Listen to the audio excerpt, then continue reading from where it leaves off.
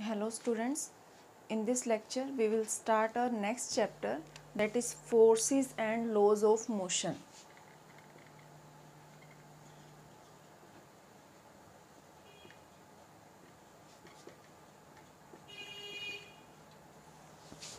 This is the next chapter we will start today and we will start from the topic that is force. One of the most basic topic that is what is force? Force is a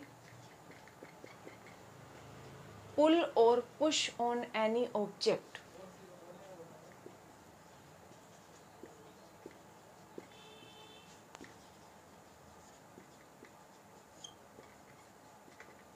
This is the basic definition of the force. That is it is a pull or push on any object so what are their effects?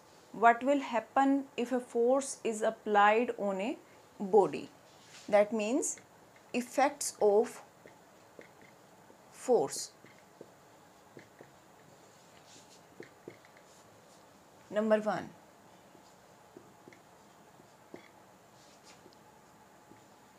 It can stop a moving body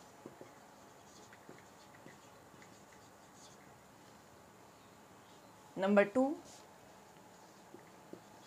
it can start a body from rest.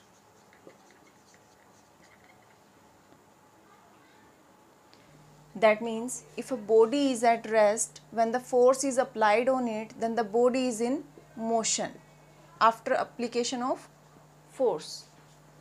And if a body is already in motion, then when a force is applied on a body from the other side then the body will stop. So these are the two effects of the force. Number 3 it can change the direction of a moving body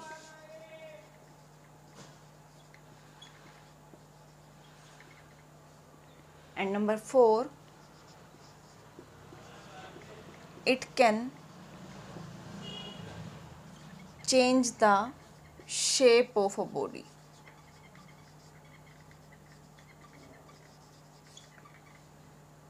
So let us suppose that there is a balloon. If a balloon is pressed between these two hands if a balloon is pressed then we see that we will see that the shape of balloon changes.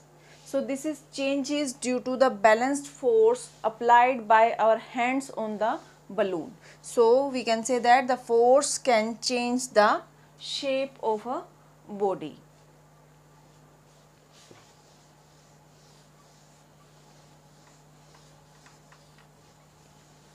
These are the effects of force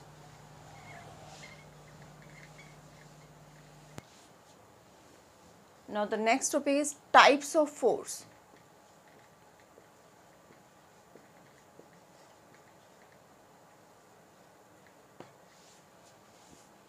How many types of force there are? That is number 1 balanced force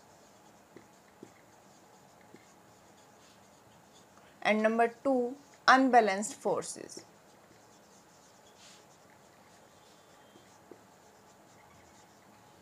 Now first of all we will discuss the balanced force.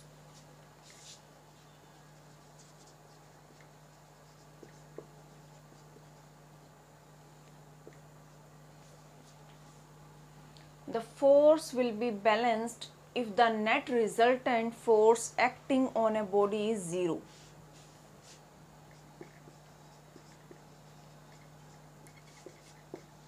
The force is balanced when net resultant of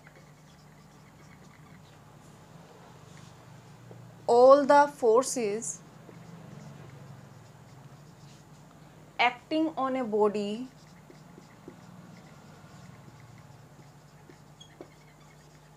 is 0 then the force is said to be balanced force. For example, let us discuss about the previous example that I have tell you I have told you earlier that is a balloon is pressed between our hands. If a balloon is pressed between our hands then the shape of balloon changes due to this balance force then the force is balanced. Balloon is pressed between our hands. This is the first example. Number second, a box lying on the surface of earth.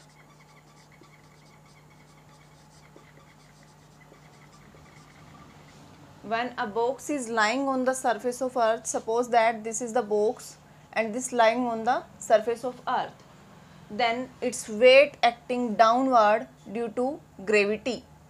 This is the force due to gravity and this force always acting downward. So as we know that ground also applies the force in the upward direction which is known as normal reaction.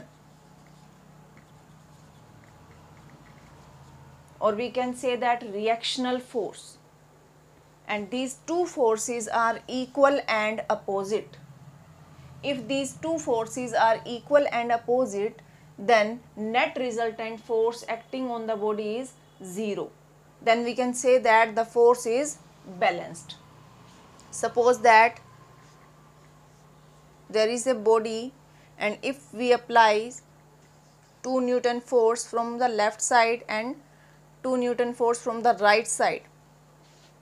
The net force acting on the body is 0. Then we can say that the force is balanced force.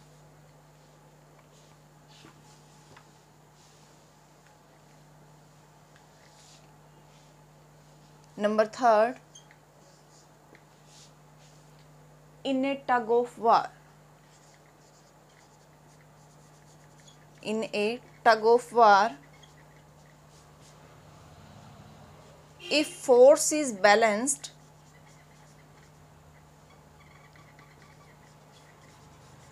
if force is balanced from both sides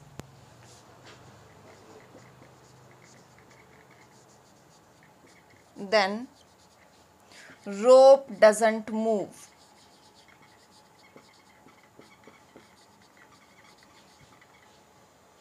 as we can see that in the game of tug of war there are two teams which are pulling the rope.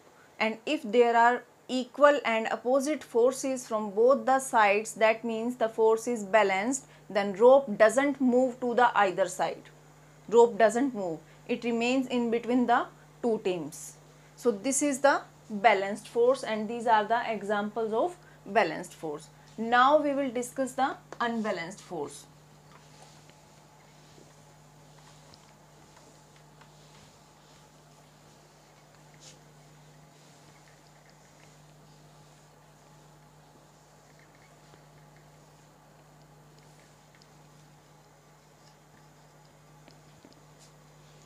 unbalanced force. The force is said to be unbalanced.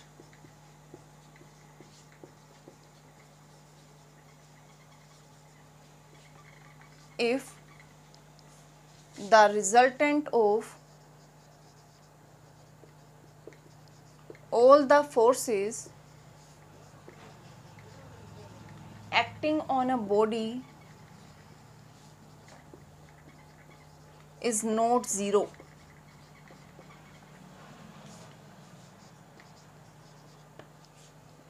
If the resultant of all the forces acting on a body is not 0, then force is said to be unbalanced force. For example,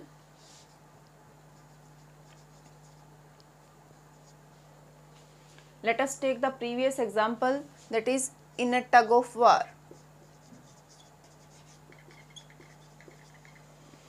In a tug of war if force is unbalanced then rope moves to the either side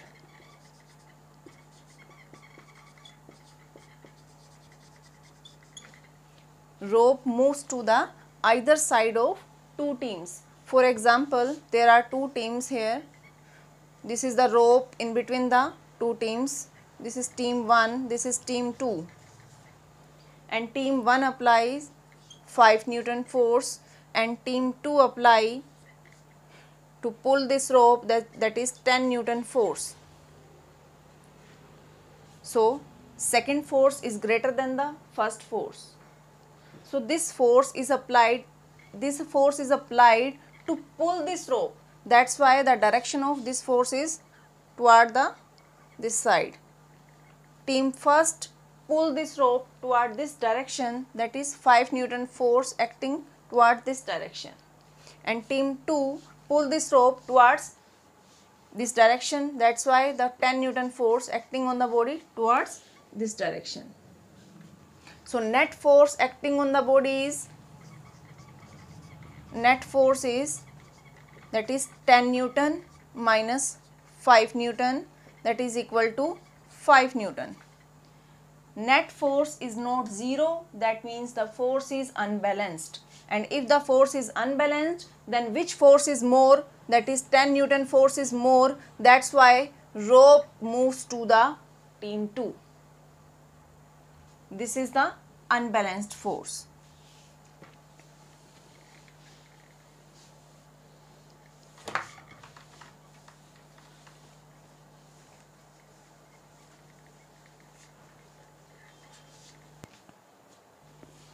there are two points that need to be remembered. Number one, balanced force doesn't change the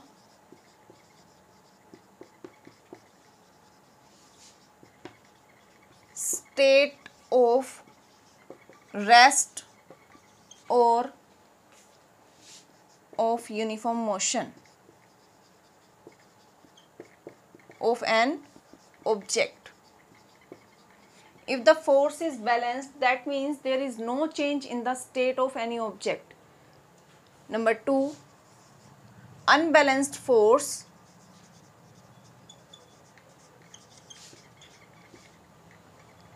changes the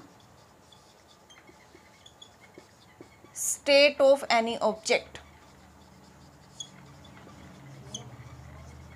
whether the object is at whether the object is at rest or in the uniform motion.